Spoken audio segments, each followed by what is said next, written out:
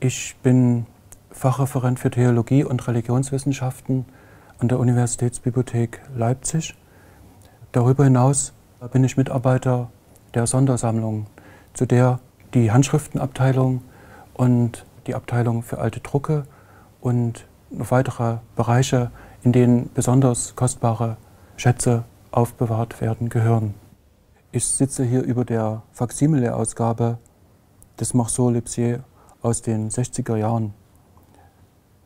Äh, die Originalhandschrift ist 700 Jahre alt und wird heute nicht mehr aus dem Tresor geholt.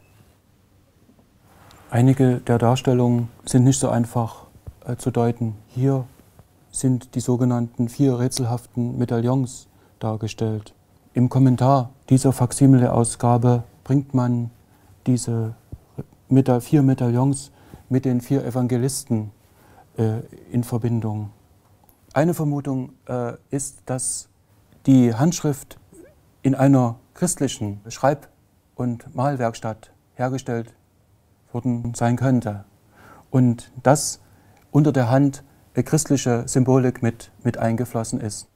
Das würde die schöne Vorstellung nähern, dass es auch im Mittelalter äh, Zeiten gab, in denen äh, Juden und Christen äh, sehr unkompliziert äh, miteinander umgegangen sind und keine Berührungsängste äh, hatten. Was unseren Marceau so wertvoll macht, ist nicht nur sein Alter, sondern ist die Tatsache, dass er illustriert wurde. Es gibt nur wenige illustrierte Machsorim aus dem Mittelalter, da ja die Juden das Bilderverbot einhielten.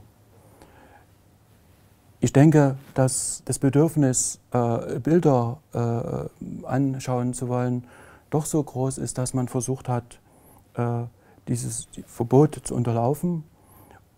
Und hier hat man den Weg gefunden, die menschlichen Gestalten als Vögel darzustellen, indem man ihnen Vogelnasen in Anführungsstrichen verlieh. Sie sind sozusagen als Fabelwesen äh, äh, dargestellt. Den ganzen Raum eines Doppelblatts nimmt die Darstellung des Durchzugs durch das Rote Meer ein. Jeder kennt die Geschichte, wie Moses mit seinem Schwert das Meer spaltet, die Juden trockenen Fußes durch das Rote Meer hindurchgehen und die Ägypter dann im Meer ertrinken. Eine wunderbare Errettung äh, des Volkes Israels durch seinen Gott. Wir sehen hier in der Faksimile-Ausgabe ein langes Schwert, das Moses in der Hand hält, um das Meer zu spalten.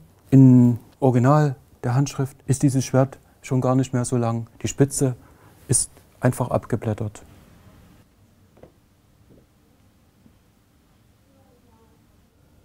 Die Arbeit des Bibliothekars hat zwei Seiten.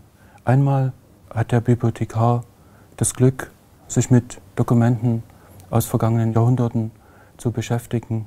Zum anderen ist er Zuschauer des Verfalls und ist ein einsamer Kämpfer oder ein Kämpfer auf verlorenen Posten gegen die Zeit.